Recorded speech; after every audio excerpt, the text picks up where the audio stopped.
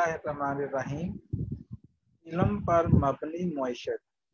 अब हमें मुख्तलिफ़ माहरीन मीशत के अलूम की भूल गुलियों से निकल कर उस शाहराह पर कदम जमा बढ़ाने होंगे, जो आज की दुनिया में पायदार तरक्की का ज़रिया समझी जाती है। तहरीर रिजवान अहमद तारिक। गरीबों की बपता अफलास के नोहे। भूख का बुरहना रुख जबल के जंदा, पेट की आग, सियासतदानों के दिल फरेब नारे, झूठे वादे और दावे, दहाइयों का चक्कर। मगर दहाइयाँ आज भी हर तरफ़ ये कैसा समाज है, ये तो आगे बढ़ने की बजाय पीछे की तरफ़ जा रहा है। अमीर अमीर तर और गरीब गरीब तर होता जा रहा है। गरीब की आवाज़ इसके हालत की तनगनाइयों में पहले से कहीं ज़्यादा फंसने लगी है, बल्कि अब तो इसकी सांस भी उखड़ने लगी है। शायद इसीलिए हमारे हुक्मरान अब ये नारा ज़्यादा शिद्दत से लगाने लगे हैं कि मुल्क से गुर्बत जल्द खत्म हो जाएगी। ज़ाहिर है कि जब गरीब ही नहीं रहेगा तो गुर्बत कैसे बाकी रहेगी? बाकी रहे नाम अल्लाह का, मिन कुल्ली पानी। गुर्बत के बारे में की गई एक तहकीक के नतीजे में ये तरफ़ हकीकत सामने आई है कि हर तीसरा पाकिस्तानी गुर्बत की गिरफ्त में है, यानी तकरीबन छः करोड़ अफराद खत्ते अफलास से नीचे ज़िंदगी गुजार रहे हैं। बलोचिस्तान की निसब से जायद सिंध की तैतीस, खैबर पख्तूनख्वा की बत्तीस और पंजाब की उन्नीस फ़ीसद आबादी इस सूरत हाल का सामना कर रही है। यकीनन ये अदाद शुमार खौफनाक हैं। मगर मनसूबाबंदी के लिए इनकी बहुत ज़रूरत है, लेकिन हमारी हुकूमतों ने शर्मिंदगी से बचने और आवाम को धोखे में रखने के लिए गुर्बत से मुतलक हकीकी अदार शुमार कभी कौम के सामने पेश नहीं किए। हालाँकि हकीकत यह है कि मुल्क में वक्त गुजरने के साथ मराहत याफ्ता और पसमानदा अफराद के दरमियान खराब बढ़ता चला जा रहा है। दूसरी जानब हुकूमतें मुसलसल इंतहाई ज़रूरतमंदों को खसूसी पैकेजेस के लालच देती रही हैं। इसका अंजाम समाजी, सियासी और अक्सर लसानी तनाव, बगावत और अस्करियत पसंदी की सूरत में ज़ाहिर होता है। इकसादी माहरीन के मुताबिक मौजूदा दौर में पाकिस्तान का सबसे बड़ा मसला गुर्बत है, जिसकी वजह महँगाई में रोज, बेरोज इजाफा, दौलत की गैर मसावी तकसीम वसाइल की कमी, बेरोजगारी और बढ़ती हुई आबादी है। तहकीकी अदाद शुमार के मुताबिक पाकिस्तान में गुर्बत की शरह में रोज बेरोज इजाफा हो रहा है। गरीब खानदान अपने मसारफ ज़िंदगी पूरे नहीं कर पाते और गुर्बत के समुंदर में गोते लगाते लगाते फिर आकर डूब जाते हैं। चार से पाँच सौ रुपये योमिया कमाने वाला शख्स, बीवी और कम अज कम चार बच्चों पर मुश्तम खानदान का खर्च आखिर कैसे पूरा कर सकते हैं? लेकिन सद अफसोस कि ऐसे करोड़ों अफराद हमारे दरमियान मौजूद हैं और इनमें से बेशतर ऐसे हैं जिनकी योमिया आमदन इससे भी कम है। ऐसे लोगों के पास खुदकुशी करने, खैराती इदारों से मदद लेने या छोटे बड़े जराइम में मुलवस होने के अलावा कोई चारा नहीं रह जाता। गुर्बत की दंगल में फंसे ऐसे खानदानों के बेशुमार बच्चे या तो सड़कों के किनारे भीख मांगते हैं या ऐसे मदारस में अपना लेने पर मजबूर हैं, जहाँ कम अज कम खुराक और रहायश की सहूलतें मैसर हों। तकरीबन 25 बरस से बाद मुफादस्त ग्रोह दहशत गर्दों के नेटवर्क से मुंसलक हो गए हैं। दहशत गर्दी के इसबाब पर तहकीक करने वाले माहरीन गुरबत को इसकी एक अहम वजह करार देते हैं। हमें यह हकीकत फरामोश नहीं करनी चाहिए कि फाकों मरता इंसान चंद सिक्कों की इवज जमीर फरोशी पर तैयार हो जाता है। गुर्बत के साथ महँगाई भी लोगों का जीना दोबार किए हुए है। एक गैर मुल्की इदारे के सर्वे के रिपोर्ट के मुताबिक, अक्सर पाकिस्तानियों की आमदन का तकरीबन 50 फ़ीसद खुराक पर खर्च हो जाता है। बाद माहरीन के मुताबिक, ये रिपोर्ट हकीकत की पूरी अक्सी नहीं करती। इस वक्त एक आम घराने के किचन का खर्च पंद्रह से बीस हज़ार रुपये तक पहुँच गया है। चार अफराद पर मुश्तमिल घराने के नाश्ते और दो वक्त के मामूली और बिल्कुल सादा खाने के अखराज का हिसाब लगाएँ तो ये रकम पाँच या छः सौ रुपये बनती है। जिन लोगों की महाना आमदन तीस या चालीस हज़ार महाना है, उनके बारे में तो ये कहना दुरुस्त है कि इनकी आमदन का निसफ फ़ीसद खुराक पर खर्च हो जाता है, लेकिन जिनकी माहाना आमदन बारह था अठारह हज़ार रुपये है, वो तो किस तरह अपने सफ़ेद पोशी का भरम रखते हैं, ये अल्लाह ही जानता है।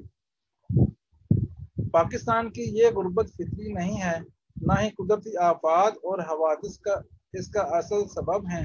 अगरचे लाखों लोगों के बेघर होने में जल्जलों और सिलाबों का दखल ज़रूर है, मगर यहाँ गुर्बत की शरह तकरीबन अब भी वही है जो जल्जलों और सिलाबों से पहले थी। एक रिपोर्ट के मुताबिक, उन्नीस में भी पाकिस्तान के एक तहाई लोग गुर्बत और अफलास का शिकार थे। आज भी यह तनासब तकरीबन इतना ही है। ये गुर्बत देहात तक महदूद नहीं है बल्कि बड़े बड़े शहरों में भी अक्सरियत इन गरीबों की है जो दो तीन अशरे पहले मतवसत दर्जे की ज़िंदगी गुजार रहे थे और फिर रफ्ता रफ्ता गुर्बत की सतह पर आ गए। हमारे लोगों को खैरात की नहीं बल्कि ठोस मसर और काबिल अमल मनसूबों की ज़रूरत है। हमारी आमदन का, का खतीर हिस्सा दिफा और कर्जों की अदायगी पर खर्च हो जाता है।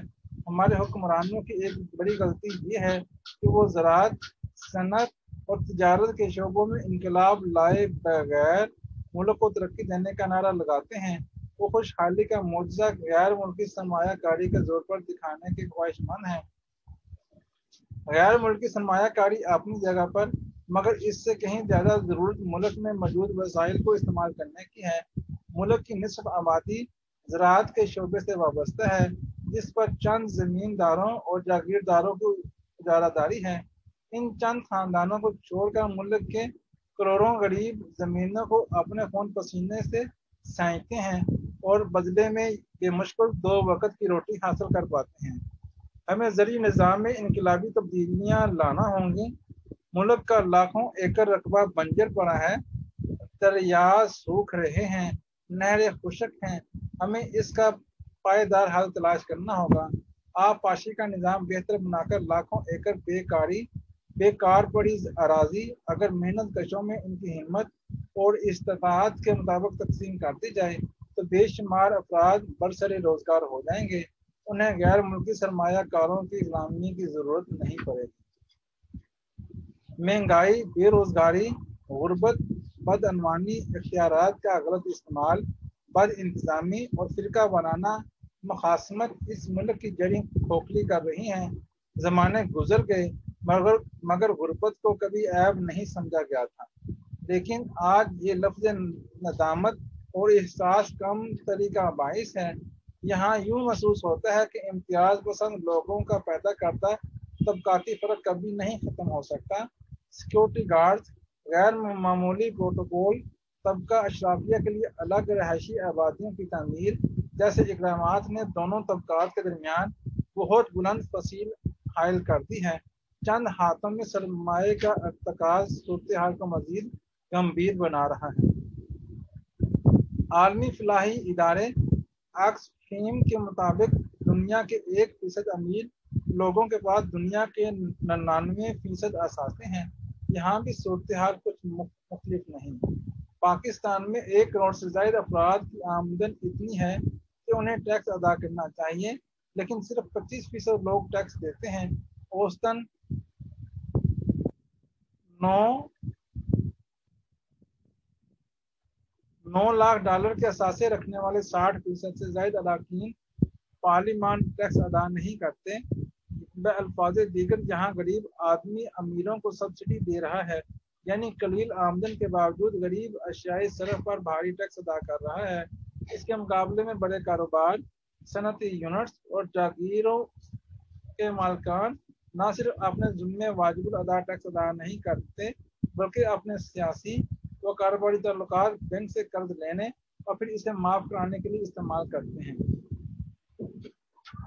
माहरीन के मुताबिक पाकिस्तान में गजाई अदम तहफ़ की शरह बुलंद, बहुत बुलंद हो चुकी है और अब ये ख़तरनाक हद तक पहुँच गई है। इनके मुताबिक मुल्क अपनी तारीख के मुश्किल तरीन दौर से गुजर रहा है। एक जानब सियासी इंतज़ार ख़त्म होने को नहीं आ रहा तो दूसरी जानब इसे अफरात ज़र खराब इकतदी सूरत हाल कुदरती आफात और बुरे तर्ज हुक्मरानी का सामना है। ऐसे में आवाम की, की अक्सरियत इस परेशानी में मुबतला है कि वो अगले वक्त के खाने का इंतज़ाम कैसे करेगी। मुल्क की निसफ से जायद आबादी खुराक के अदम तहफ़ खून की कमी और नाकाफ़ी गजाइत का शिकार है। वो जो योमिया एक डॉलर से कम कमाते हैं और जिनका खाना सिर्फ़ एक नान या चपाती और चाय पर मुश्तमिल होता है, या वो मिर्च और प्याज पर गुजारा करते हैं, इनका तो कुछ पूछना ही नहीं। लेकिन मतवसत तबका भी रोज़ाना मतवाजन गजा नहीं खा सकता। पाकिस्तान ने अकवा मुतहदा के तहत millennium development goals M D G के माहे पर दस्तखत किए हैं। जिसकी रूह से वो भूख ख़त्म करने का पाबंद है, लेकिन अफसोस के पाकिस्तान ये हदफ भी हासिल नहीं कर सका और पहले के मुकाबले में मुल्क में भूख बढ़ गई है। माहरीन के मुताबिक अगर अगले पाँच बरस तक तमाम मुतल अवामिल, मसलन मौसमियाती तब्दीलियों की रफ्तार, आबादी में इजाफा और सियासी सूरत हाल इसी तरह रही तो गजाई अदम तहफ़ की मौजूदा शरह तिरसठ ता पैंसठ फ़ीसद हो जाएगी, जो बहुत खौफनाक बात है। इनका का कहना है कि मुल्क में गुर्बत और गजाई अदम तहफ़ के हवाले से सबसे अहम बात यह है कि हमारी इकतदी नमो बहुत सुस्त हैं, इसकी वजह से मुलाजमत के मौके पैदा नहीं हो रहे। पाकिस्तान में गजाइत की कमी या पोशीदा भूख भी खतरनाक हद तक बढ़ रही है। हमारी चौबीस फ़ीसद आबादी को गजाइत की कमी का सामना है। अकवा मुतहदा की फ़ूड एंड एग्रीकल्चर ऑर्गेनाइजेशन के मुताबिक पाकिस्तान में पाँच अशारिया सैंतीस मिलियन अफराद गजाइत की कमी का शिकार हैं। हमारी आबादी में कई तरह के गजाई अज्जा की कमी है, जिनमें में प्रोटीन से लेकर आयोडीन फुलाद वगैरह तक की कमी शामिल है। यहाँ भी गुर्बत अहम वजह ठहराई जाती है, क्योंकि आबादी के बहुत बड़े हिस्से को खुराक मैसर ही नहीं है। और अगर है तो इसमें ज़रूरी गजाइत नहीं है। फिर खाने पीने की अशिया के आसमान से बातें करते हुए नरख भी, नरख से भी गरीब अफराद शदीद तौर पर मुतासर हो रहे हैं। माहरीन के मुताबिक ये मसला अब हंगामी इख्तियार कर गया है। इस मसले के हल में मजीद तखीर बहुत तबाहकुन साबित होगी। बुरी रियासती और सरमाकारी हमत अमली का नतीजा। लेकिन ये तो सब तो नतज हैं। उन बुरी रियासती और सर, सरकारी हमत अमलियों का जो हमने अब तक तरतीब दी हैं जब तरजीहत ही गलत हों तो नतज कैसे अच्छे निकल सकते हैं? हमें बेहसीत तरक्की पसी मुल्क जिन तरजीहत का तयन करना चाहिए था वो तो हम आज तक नहीं कर रहे। तो हकीकी तब्दीली और पायदार तरक्की का ख्वाब कैसे शर्मिंदा तब्दील हो सकता है? तालीम और इंसानी वसाइल की तरक्की, साइंस और टेक्नोलॉजी और तहकीक को तरक्की के फरोग के लिए वफाक और सूबे हर बरस अपने मिजानियों में कितनी रकूम रखते हैं? चंद बरसों के अदाद शुमार देख लें, हमारी पसमानदगी का सबब खुद ब खुद समझ में आ जाएगा। अल्लाह हाफिज़।